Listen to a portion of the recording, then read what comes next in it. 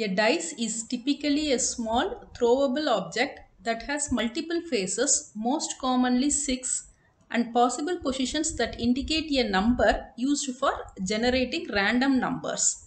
They are typically used for tabletop games and online games. Let us write Python program for a pair of virtual dice roller that has 6 faces with numbers from 1 to 6 that can be used for online games let us implement the Python program for a pair of virtual dice roller.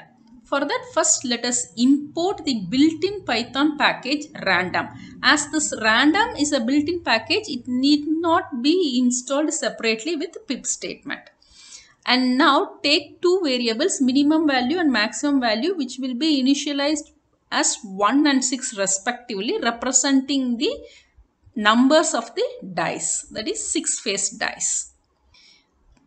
Random has a method randint which shall generate a random integers and since we want a value between 1 and 6 I pass the parameter as minimum value and maximum value. Now on executing we got a random value generated 6 which is between the minimum value and maximum value. Once again on running we got a value 1 which is different from the previous generated value of 6.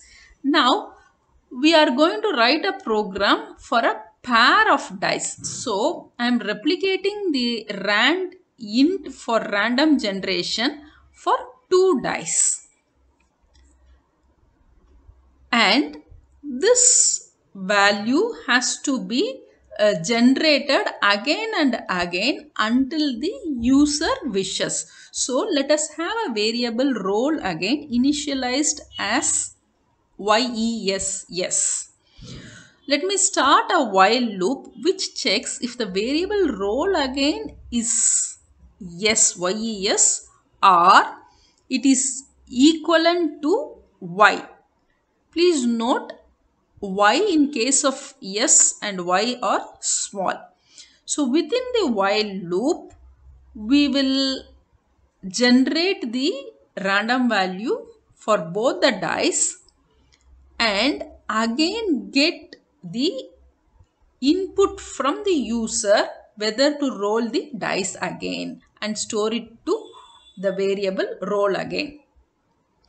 So this is our uh, simple three line while statement. Initi as the roll again is initialized with yes, first time we will enter into the while loop, print the dice values and then get the roll value which will get executed based on the inputs.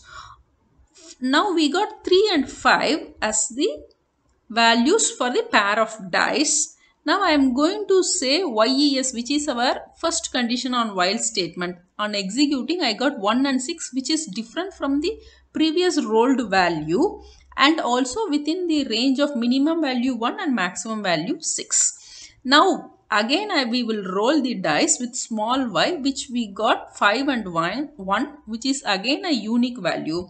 Now I am giving capital Y which is not satisfied in the while loop because the satisfying conditions are yes and y where y is a small. Now we came out of while loop. So we made a simple Python program for virtual dice roller. That's a pair of virtual dice roller with six faces using built-in package random and this random has randint method which shall generate the integer values by taking the parameters minimum and maximum value. Hope you like the video. Please subscribe to our channel and then give a like to this video.